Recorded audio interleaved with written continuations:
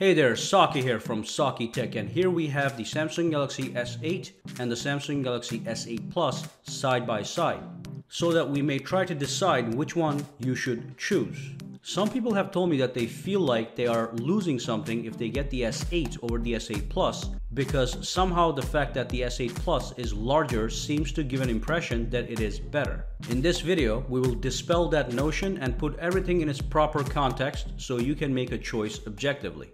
Now right off the bat, it is essential to understand that as far as processor, software, camera, and such are concerned, both the S8 and S8 Plus are exactly the same. They both sport a powerful Snapdragon 835 processor with 4GB of RAM and 64GB of internal storage with the ability to add up to 256GB of extra storage using the micro SD card slot which can be found on the top of the phone. They have the same world-class 12 megapixel camera with an aperture of f1.7. And unlike their predecessors S7 and S7 Edge, the S8 and S8 Plus have the same exact dual curved design and look stunning from all angles. But we do have a few differences that need to be analyzed. First, let's talk about the dimensions and display.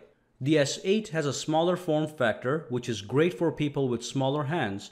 However, the S8 does take a loss because it has less display real estate than the S8 Plus. Now let's not get carried away. The S8 does have a pretty large 5.8 inch screen that is expertly crammed into a phone that is not too large to hold. This is possible because of the edge-to-edge -edge display technology and the lack of the home button on the front of the phone, which allows for a large and tall screen to dominate the front. Now just take a look at the iPhone 7 Plus.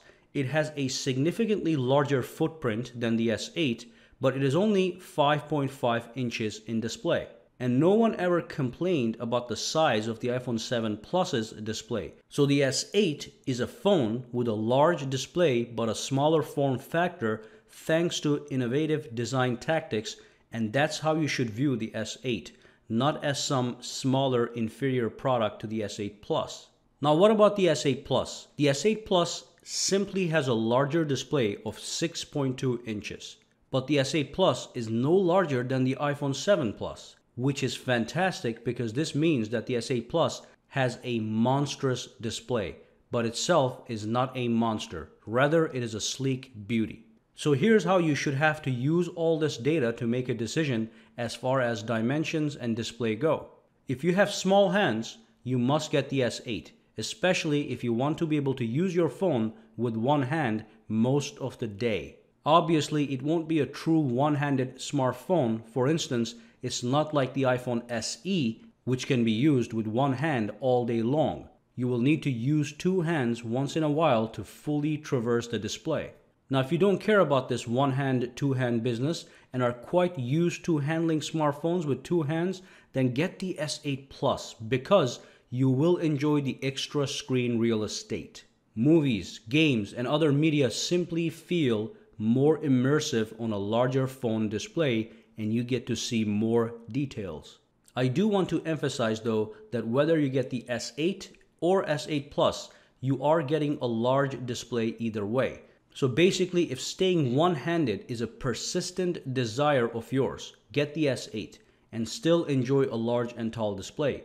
Yet, if you do not care about being able to use a smartphone with one hand, just get the S8 Plus and enjoy even a larger display. So that's the dimensions and display.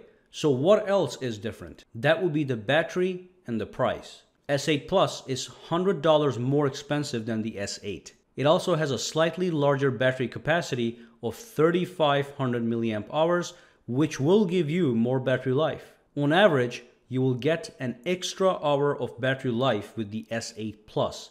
S8's battery capacity is 3000 milliamp hours. Alright, so that's a total of four differences to be aware of between the S8 and S8 Plus, the display size, handling experience, price, and the battery. Mostly you should concentrate on the display size and the handling experience. So let me know down in the comments section below which one you decided to get or already got. You can also tell me why. Or are you waiting for the Note 8 or iPhone 8 to make a final decision? Also, give this video a thumbs up to indicate your love for smartphones and make sure to subscribe to Saki Tech for more videos to come. Guys, have a fantastic day.